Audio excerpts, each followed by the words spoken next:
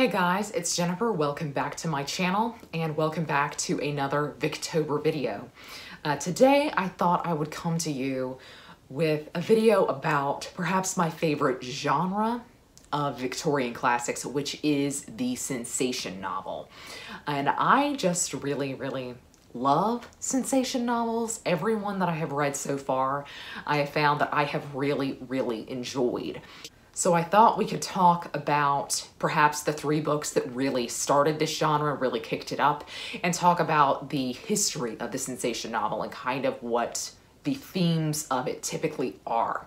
So the kind of genre of the sensation novel really came into popularity in the 1860s and 1870s, and it grew out of some other really popular genres that were kind of falling away by this point in time. Uh, so mainly the gothic and kind of romantic genres of writing. So the Gothic genre really came into vogue in the late 1700s. That's really when it was its most popular.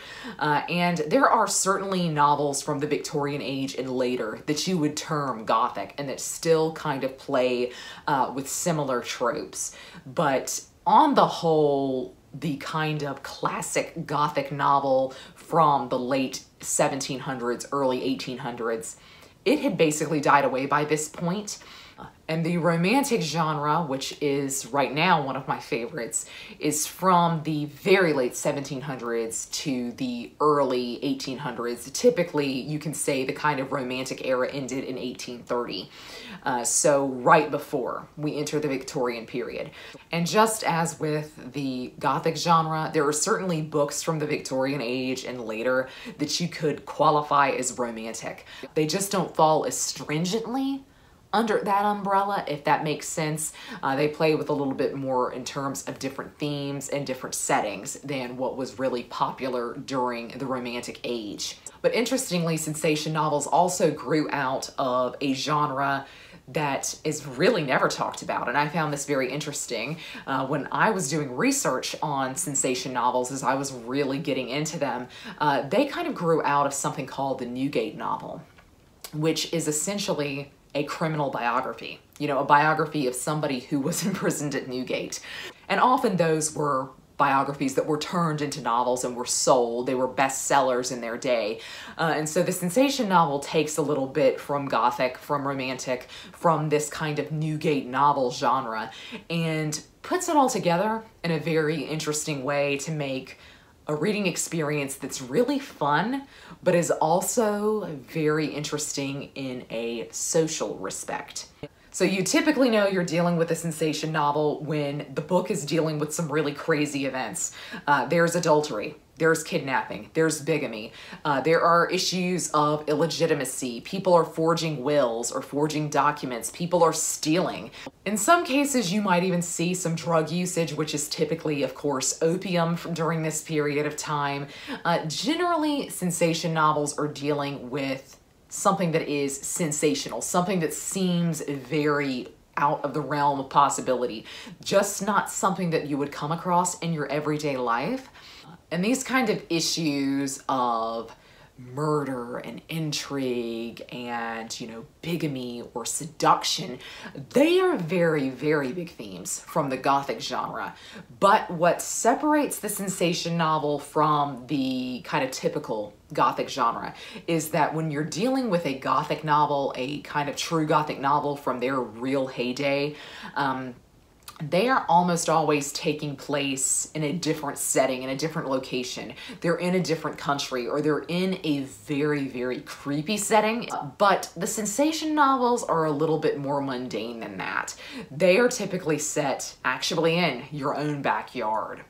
And so they deal with very domestic issues. They are set in a very familiar setting, which allows the sensation novel to straddle the line between reality and that sensationalism very interestingly and it makes all of the things that are very over the top about the sensation novel seem a little bit closer to reality uh, because they are taking place in an area that most people are familiar with. There's also typically a big mystery element to most sensation novels, even if it's not in the typical sense of somebody was murdered and we're trying to figure out who did it. There's often a mystery of what's going on in this house? How are these people going to get out of this situation? What's going on? How did these documents get here? There's something at play that is a big mystery element.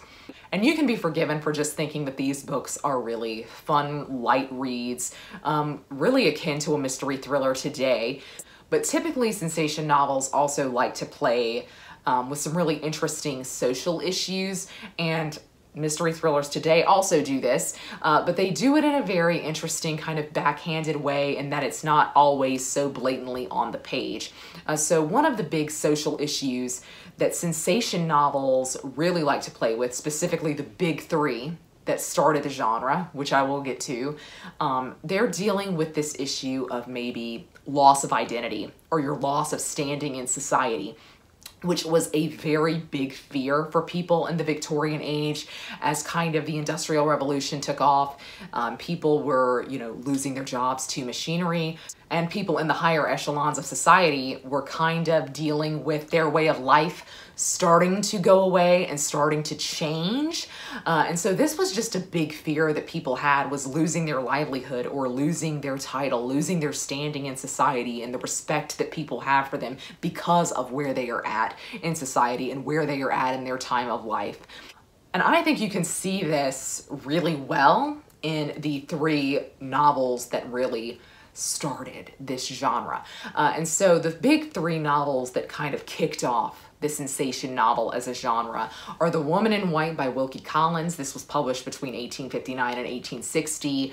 Uh, and then you have East Lynne by Ellen Wood, or sometimes Mrs. Henry Wood, you will see her termed. Uh, that was published in 1861. And then you have Lady Audley's Secret by Mary Elizabeth Braddon, which was published in 1862. Now, I have yet to read East Lynne. I have tried to pick it up a few times and it's never quite gripped me.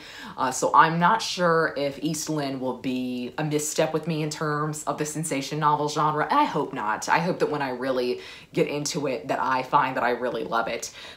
But The Woman in White is currently my favorite Victorian classic of all time, and Lady Audley's Secret is one of my favorites. Uh, so without spoilers, I will just say that they all three seem to deal with that theme of loss of identity.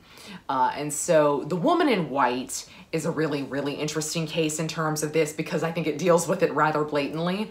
So how the action of The Woman in White kicks off is that one of the main characters, Walter Hartright, helps a woman who is dressed all in white and he thinks there's something very off about that situation. He thinks there's something creepy, perhaps even something supernatural about her appearance on the road that night. But he comes to find out that she has escaped from an asylum. So all of the drama kicks off from there with the woman in white. East Lynne deals with an adulterous woman gaining access to her former household through some rather unconventional means. And Lady Audley's Secret focuses on a very ambitious woman who will stop at nothing to get the fortune that she wants. And so all three of these books deal quite blatantly with somebody who has lost their sense of identity or their sense of place in society. But whether that's through their own means or not is the real mystery of these books. Uh, so I don't want to say anything more about them because I want you to read them. I don't want you to be spoiled. I think The Woman in White in particular is a really wild ride because you're constantly trying to figure things out as is Lady Audley's Secret. In both of these books, and I assume with East Lynne that this might also be the case, you think you have things figured a certain way, you think you understand where the story is probably going to go, but you're nearly always wrong. Uh, and I think that's what makes these books interesting is that they aren't just a standard mystery story or kind of a whodunit, um, but that they also try to deal with a kind of underlying social issue. Right now, I am currently reading No Name, also by Wilkie Collins, and it's also termed a sensation novel. And it deals pretty blatantly with the issue of illegitimacy, which is, in a way, its own form of loss of identity. Uh, and so I can definitely see that that's a theme in a wide variety of sensation novels. My journey with sensation novels has still really only just begun, uh, and so I'm really excited to read more sensation novels. I know that Thomas Hardy uh, has his own foray into the sensation novel genre, as does Charles Dickens. Technically, his last published work that is unfortunately unfinished, The Mystery of Edwin Drood, is sometimes termed a sensation novel. And of course, Wilkie Collins is the master of the sensation novel. Many, many of his books uh, can technically be termed a sensation novel. So I am really looking forward to continuing my journey with this subset of Victorian classics. I would be curious to know whether or not you enjoy sensation novels. What are some of the ones that you've read?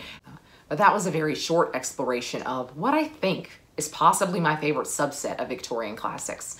Uh, but that's going to be all for me today. I hope you're all having a great week. Happy reading. Happy Victober. Goodbye.